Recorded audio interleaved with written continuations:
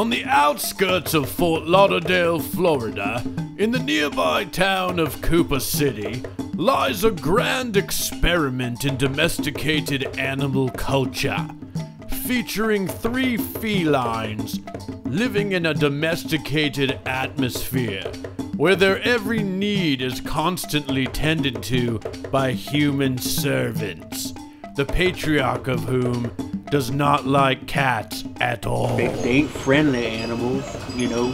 They, they basically don't want anything to do with us human beings. They walk around like they own the place. The only time they ever make any noise towards me is when they want some food, you know. So, you know, they don't like me, I don't like them. As far as I'm concerned, you know, just throw them in the river out back. Students from the nearby Broward Community College School of Domesticated Feline Studies have engaged in a 24 month study of the cohabitation of these felines. Meet Rose, a cranky middle aged cat with a serious egomaniacal attitude of indifference towards all other living creatures. Rose seems to have been a cat birthed directly from a top notch pedigree of Egyptian royalty, annoyed at both her brother Jack and newcomer to the family, Molly. Meet Jack, Rose's brother, an obvious leader of the pride.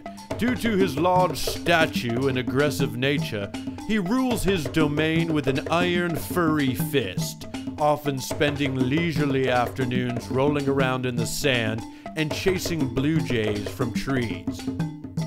And finally, Molly, the newest addition to the Blair clan, barely five months old and doing everything she can to run her human roommates ragged.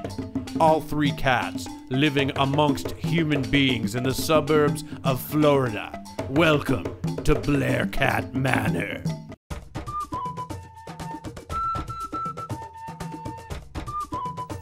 Little Rose likes to lay on her back and look for attention from the humans.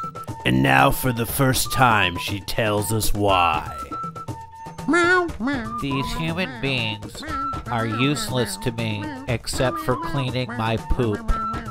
Although the other cats seem to have a similar attitude, Little Rose tends to get under the skin of the humans more than the rest. in, in this box where they crap, uh, you know, I gotta clean it three times a week. No one else would do it around here.